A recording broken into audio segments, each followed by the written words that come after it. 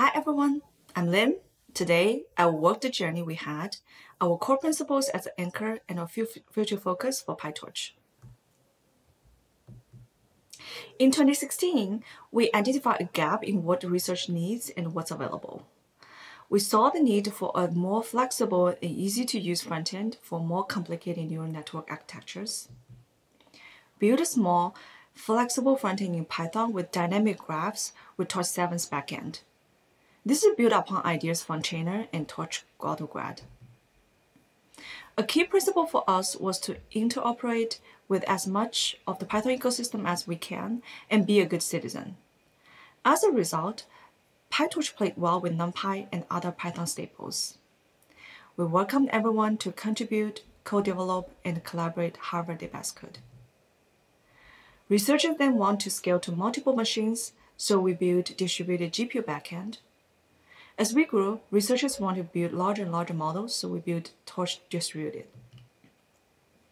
And then they want to build small models in NLP and the reinforcement learning. We built and delivered ATen, a fast and lower overhead engine. Later on, they become product owners, and many of them went on to either start a company or be part of a larger ML deployment of their research. They asked for better production support and performance. We took this as a challenge to keep research flexibility and yet enable production. In order to serve that need, we made a huge pivot of PyTorch 1.0. We merged PyTorch with Caffe 2 and built Torch Script to support production. Everyone wanted options on hardware backend, so we worked with many hardware vendors to increase the hardware portfolio for PyTorch. From early on, we build small domain libraries but rely on the community for empowering a diverse set of ideas in domains such as object detection, privacy-preserving ML, graph neural networks, and, and healthcare. During PyTorch production development, we discovered huge demand in having the building blocks of serving and deployment, model lifecycle management, workflow management on top of PyTorch.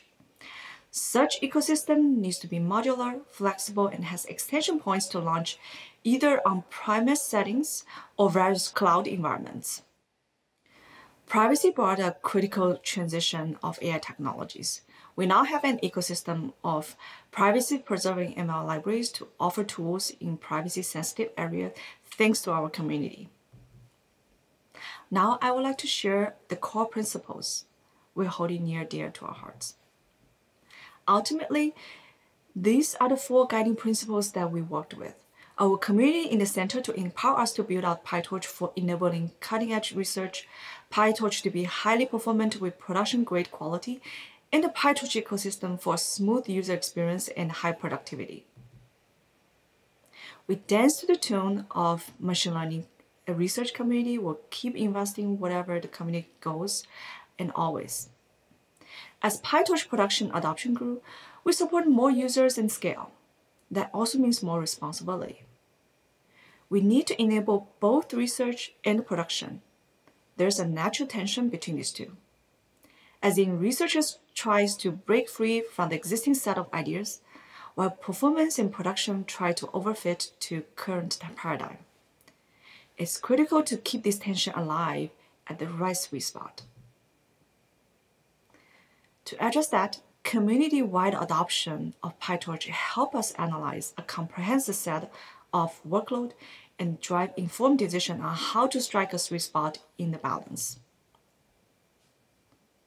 We're also serving a variety of users. Not everyone needs everything. They should only cognitively pay for what they use. If we don't enforce this in our overall API and implementation, it will be impossible for us to move forward.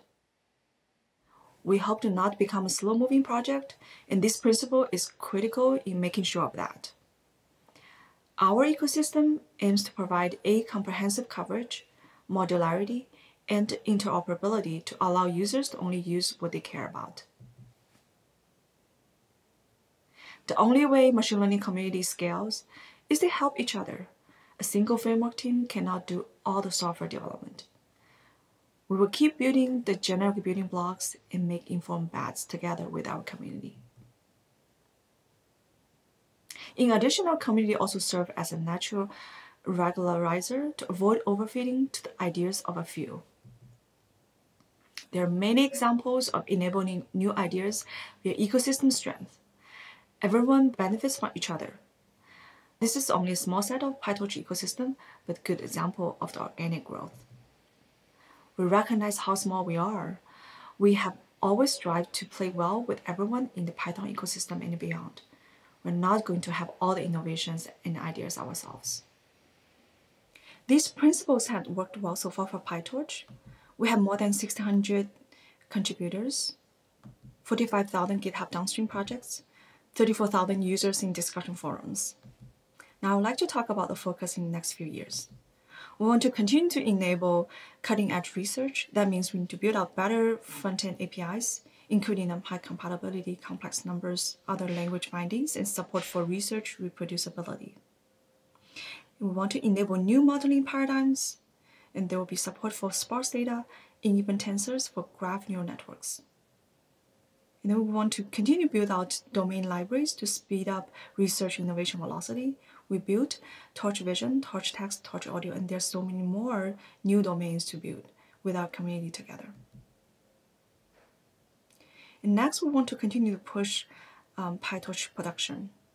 That means we, want, we need to accelerate a wide range of production models, achieve 100 times speed up in speech, CV, recommendation domains, and so on, and we're making great progress in that regard.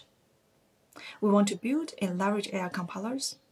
We already have PyTorch JIT to convert from type PyTorch eager mode to graph mode. Then we'll do graph optimization, scheduling optimization, and do code generation to a specific hardware backend.